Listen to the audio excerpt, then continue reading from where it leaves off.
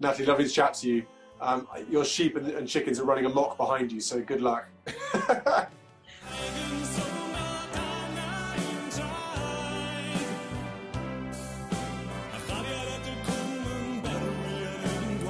How do I pronounce you, you, where you are, the farm? Is it Dal Dare?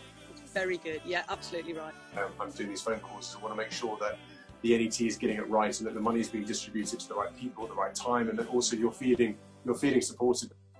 Was amazing for us. We obviously received the funding by a community foundation in Wales, which were the very first people to fund us back in 2016 when we set up the charity. So it's kind of special. What was so amazing was it was so quick. Within days, had contacted us. It's massive. That £2,000 for us, we're a really small grassroots charity. So the ability to be able to buy something that not only can help at crisis point, but then also continue to be a resource for the community for years afterwards is massive. And it's great that, to be able to speak to you now. I'm hoping that the money is, is reaching the places it needs to. I said the other thing is actually the fact that people feel that they're being heard. Our volunteer group, you know, they've been told all their lives that because they have learning disabilities they can't achieve. They've been with us from the start. Now they've had a message saying that you guys have listened and you're proud of them.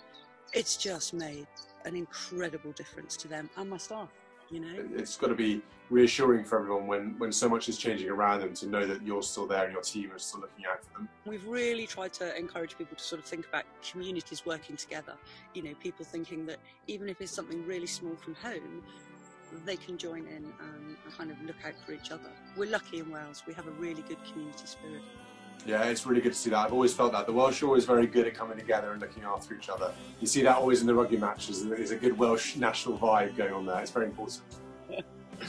yeah, we're really uh, I love it. Natalie, um, it's really great to talk to you. Thank you so much. Thank and you. will you sit, will you pass on my best wishes and huge thanks to all your team for everything they're doing?